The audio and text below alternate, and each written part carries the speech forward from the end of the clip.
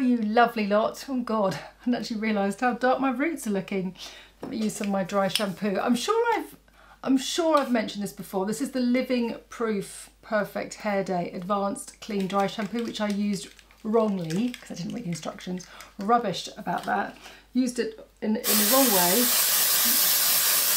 uh, for the first few times that I used it. I just thought, I don't really understand. It's like the worst dry shampoo I've ever used. It's so white. With. Um, you leave it, it says wait for 30 seconds. So you just go about your business and um, I'm not sure what happens in 30 seconds. I'm assuming it just absorbs all the oil. You can obviously use a little bit more, but just for the purpose of this film, um, I will just do it in the area that you can see.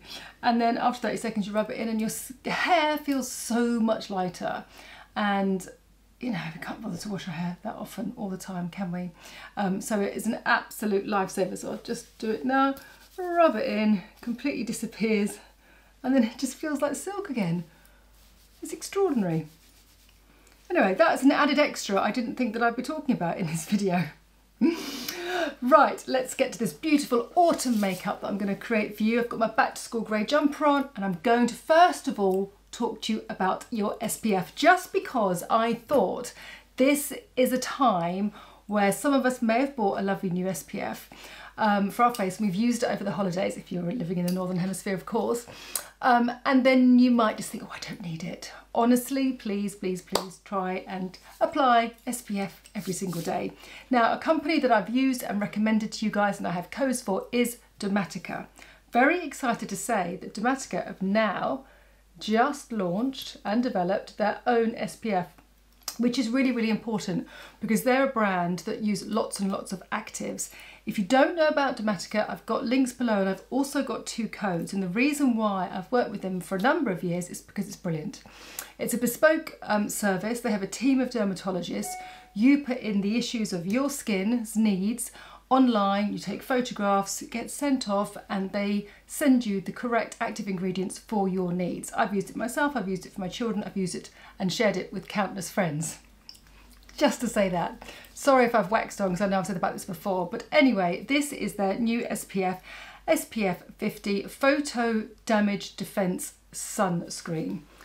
Again, what would you expect from it? You'd expect it to be really lightweight, um, possibly like serum texture, which it is. Sits beautifully mm, on the skin, no fragrance whatsoever. I'd use two pumps of this, especially around all the areas where I've got all my damage. I'm a bit late now, but if you're young and you're watching this every day. But the most important thing Dermatica want you to do is they want you to repair your skin at night with all their active ingredients depending on your skin's needs and then in the morning protect it with your SPF. You've just got to kind of get used to that routine because it will just really, really help prolong the beautiful texture of your skin going forward and obviously protect it from the UVA and UVB um, skin uh, sun rays. Um, it's broad spectrum obviously because it protects from UVA and UVB. Anyway, it's a really nice texture. It's 15.95. Um, there is a code down below which is Caroline B for 20% off the actual product. And then if you've never tried this whole Dermatica experience, then I encourage you to do that. It's £2.90 for the first month, and then I think it's 20% off after that. Anyway, all the details are below. So start with an SPF that works really well with your makeup. That's key. Doesn't feel heavy, there's no white cast. All the tick boxes. Right, so just for a little bit of colour, um, excitement. These are the kind of shades that I'm going to use with the favourite lipstick that I talked about last week. Um, I've really enjoyed the texture and the longevity of. Um, what shall I start with? Which base? Right, I think I'm going to use a little bit of Hourglass taken straight out of my makeup bag because actually I hadn't thought about what base I'm going to use. So I had the NARS one last week which was um, really light reflective, beautiful and fresh. And then I went to work the other day and I thought, oh, I just don't want to be fiddling around. I want something that's kind of just going to give me a nice skin.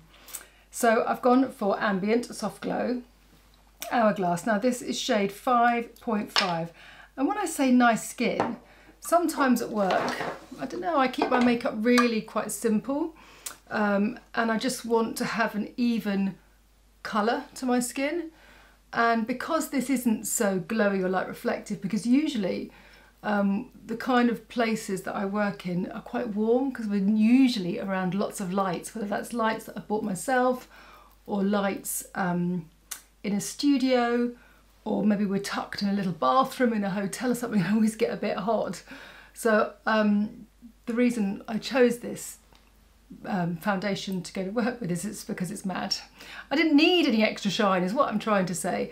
And not that I'm trying to tell you to go and get lots of different foundations for lots of different um, environments.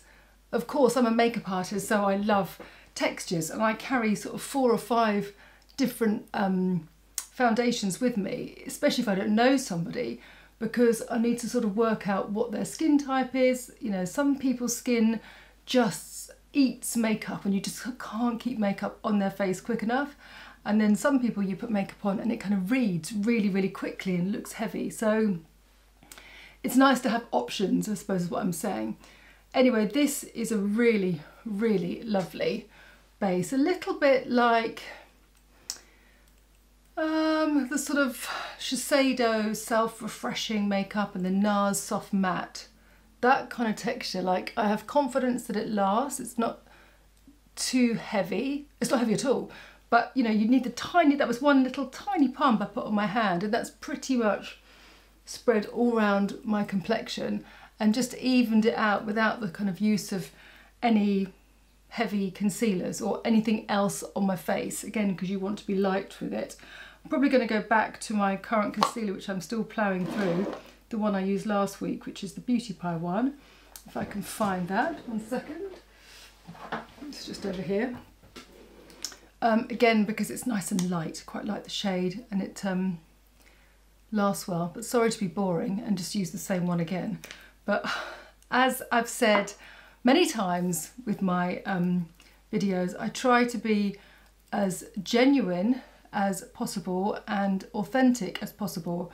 And that's why it's important to kind of teach um, about application and tricks. So it's not just new product, new product, new product, because there's just no way that you can really kind of trial and test these products unless you're literally wearing about different, five different looks a day, going about your business. And it's just, I don't know, it's just not real, is it? So when I find products that really work, I will always mention them to you and sometimes I might be repetitive about things, but you know that when I say this is great, um, it's a genuine top tip, which is hard to get clarification on these things these days, I think. Right, so there we are, simple, simple skin. Um, I'm going to show you one new mascara by Vieve, and I'm very excited to share this with you. I love it. It's like the hourglass gold packaging. There's just something so decadent and gorgeous about it. I was going to do like a back to school sort of first day at work makeup with my white shirt and grey jumper, but I've decided not to. I felt like it needs to be just a little bit more fabulous.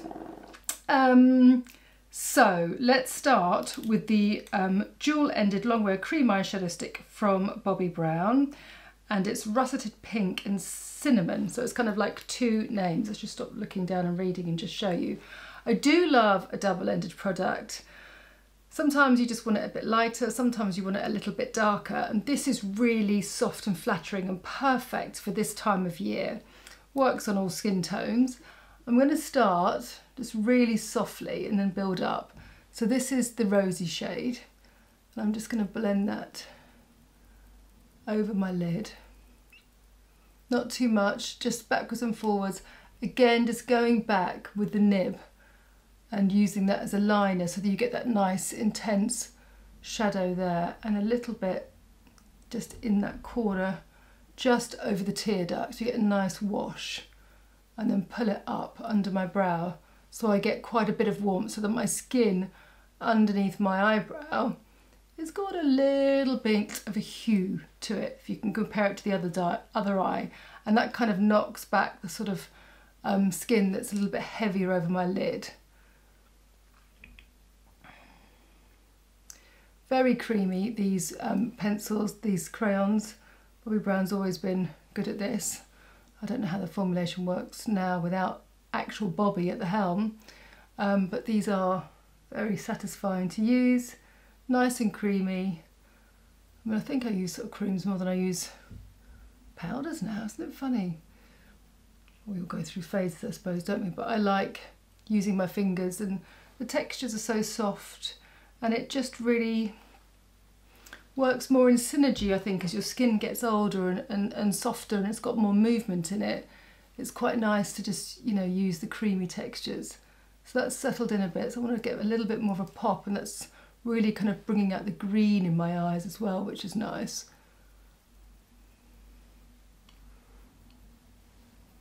Just put that under there. Okay, a little bit there. Good. Okay, so let's go in with the darker shade. Now with the darker shade, I'm going to try and push back this socket, but just keep it wide. So I'm just going to do almost like a half, well not a half banana, a banana, half moon. And then blend it in. I don't really want to do it on the outside. The reason I don't really want to focus too much on the outside of my eye is because the lip is going to be quite strong. And if I'm taking it on the outside of my eye it's sort of going to make my eye a little bit more feline and a bit sort of more made up. And I don't really want it to look like that. I just want it to add a bit of lift to my eye. So this is a clean brush. And what I might do is actually take a little bit of my concealer on the back of my hand with this clean brush because to me it's collapsed a little bit here, my skin does.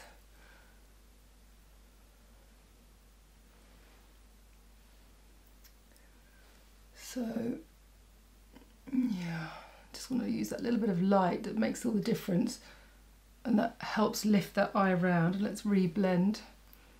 Mm, this is a nice brush, Ilia. Nice and soft. Oh, that's better. Yeah, that's very nice. Okay, so let's go back in and blend that. And is it still blendable? Have I not, haven't missed the boat with that, have I? Okay, and then let's take this one and bring it in because I don't want it to spread more. And then I'll do the correction maybe with a, see that's fallen down a bit there. I usually have um, a little bit of Botox just in my uh, brows here, not on my forehead because it's so big. I had, I have had it. if you look back in my film, sort of like four years ago, five years, it looked ridiculous. I decided it wasn't for me, um, but it's quite nice because it just gives a little bit of lift when I have it done. I haven't had it done for about six months, but I'm deciding whether to have a little bit more or not. Can't decide. You know, some days you feel all right about yourself, and some days you think, oh no, I just need a little bit of a lift. And you get around in circles. Uh, right, so, good, okay. So cake back with my concealer, tiny little brush.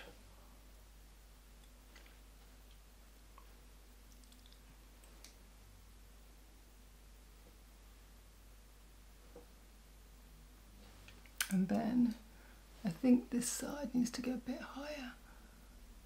Whereas the green, I focus much on the lid and the socket, but it's quite nice to get that soft diffuse finish because I'm going to put the mascara on the top and bottom lashes. All very subtle, but you can see it really brings out the whole shape of my eye, but it's still very, very soft. No magic happens until you put the mascara on. Let's have a little look. Okay, so this is Vieve's Modern Mascara. Really love her modern concealers, I think. Um, really beautiful brand and her uh, bronzing balms, as you know, in the summer, really nice. So I tried this mascara and it delivers the most beautiful, soft, fluffy lashes, not like the lashes um, that I would normally go to, like if I put, put on the Urban Decay or the Charlotte Tilbury push-up lashes.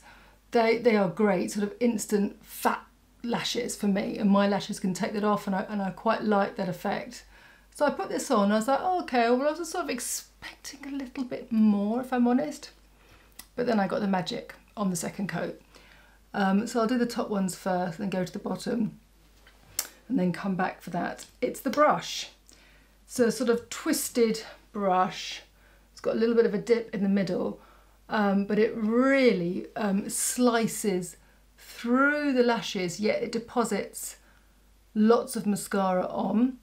So you get a really nice smooth fan-like effect. As you can see, that's just a nice mascara. It's not like too much. I kind of went like a little bit of American there. I don't know why. Uh, I don't know why. Um, now using the tip backwards and forwards. Uh, another great thing is it didn't move, it stayed beautifully put on my eyes and because I tend to wear lots of you know creamy concealers and pow uh, creamy concealers and I don't really use a lot of powder under my eyes because my skin would look really dehydrated and overly made up for my taste. It's always sort of quite a damp area under my eye so if the mascara, that's why I love tubing mascara so much, um, just bleeds everywhere, you know, bleeds. The mascara dilutes under my eyes and just get there's a black under my eyes and I just think, as a makeup artist, maybe I shouldn't go look like a panda, but sometimes I do. And there you go. Um, sometimes you don't look at yourself in the mirror for about six hours, do you? Then you're like, oh, gee whiz. right, so the lower lashes are fine, so let's just go and I'll show you how they look after second coat. Oh, excuse the nose blob. Hmm. Really, really looks like I've got some demi wispy false eyelashes on. Different, completely different to the e.l.f. that I had on last week where it was individually coated with mascara. Um, this just makes them really soft and fluffy looking. Which is really pretty with this kind of look. Funny isn't it? I mean maybe to most of you you're thinking what on earth is she going on about? Looks just exactly like the same. And some of you will be like yep I know exactly what you mean. Also depends on our own personal taste and the lashes that we've been blessed with. So you know different mascaras work very differently for for any of us, but I really love Jamie, who is the founder and brand owner of Vieve, um, because she's got a lot of experience with women, different faces. She used to work on counters, so she had all that experience. Where I think if you just come from an art background or a film background, you don't, obviously you're working on characters and um, actresses and stuff, but you're not really getting that feedback or like going through so many different types of people so rapidly in one day. So, you know, it's a it's a really great training if you're going to launch your own brand. Anyway, I'm going off again on a tangent. Um, so let's try. I think I need a bit of warmth. Let's go in with a bit of Ree's bronzer. Lovely Ree. Do many of you follow Ree? She's um, a really lovely lady, um, a UK beauty blogger. And actually, when I say beauty blogger, I don't sort of mean that sort of just like, you know, in general terms. She really was one of the first people um, to start writing about makeup um, and basically giving the lowdown on new products. And, you know, she was sort of like the oracle of beauty. Whew, look at that. She's going to take off with those cheekbones. Um, and really lovely lady. This is her bronzer. I think I used it before. Um, so I've used this very dense Bobbi Brown brush, which I love, with the bronzer. And as you can see, because it's a dense brush, it's deposited lots of bronzer on my skin. I, I'm not bothered about that. It's fine. It's a really beautiful cream product. Just again, taking the excess off. And I'll just blend it back into the rest of my face and actually spread it around the perimeter of my face into the T-zone. It spreads really well but you want to just keep the nice lightness under your eyes and bring that round a little bit over the nose for that kind of warmth. Oh, look at that. That is really, really yummy and soft. What a transformation to how I looked when I switched the camera on. Let me just do a little bit of more blending. I love the dark one there, but that's also quite nice. This red is going to look really super punchy. Mm hmm This is a L'Oreal lipstick. Um, and it's shade 200 and it's called Intense Volume Matte. I'm not going to use this lipstick. Here it is. Um, full on. I'm going to apply it, but then I'm going to really, really soften it down because I want it to be almost just like um, a soft stain, not like a really strong lip. Oh, and before I do that, I do love to use a little bit of hyaluronic before. Now I haven't got my B5 hyaluronic um, La Roche-Posay serum, but I'm just using the eye serum, but it's very similar. Well, they'd probably disagree, but it has the same effect. This is just around the eyes, but it's the lovely hyaluronic molecules that I want on my lip. Um, because when I'm using a slightly softer, more velvety lipstick, it's quite nice to have that just a little bit of bounce in my lip before I put that on, whereas I don't have it sort of naturally as I did back in the day, or when you know your eyes feel, uh, your lips feel a little bit dry because you've been wearing lipstick. It's just quite nice to add a little bit more of a boost to your lips without it feeling slimy and slippery with a balm. God, that was a long sentence. I'm just going to tap, just going to get myself a nice cupid's bow. It's a very premium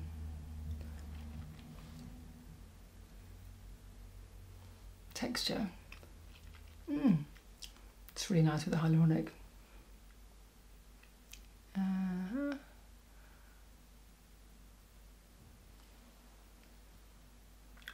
See, nice. Now, squidge that in there. And I'm going to take my brush.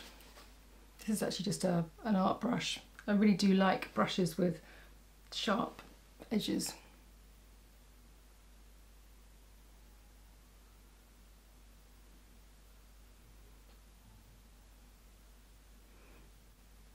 Just smudge that in. just think it's a really lovely look. It's a really lovely warm orangey red. What was that? tissue. And just mat it down so it becomes like a stain. And oh, maybe I'll just tie my hair back. No, just keep it down. That's fine. And that's this week's look. I don't know what to call her. Um, I'll let you call her. Or maybe we should do that. The makeups I do, can you give them all names? Not like Genevieve or Jennifer or Sally, but like something else. What's this girl called? I don't know. Anyway, have a lovely week, everyone. See you very soon. Bye.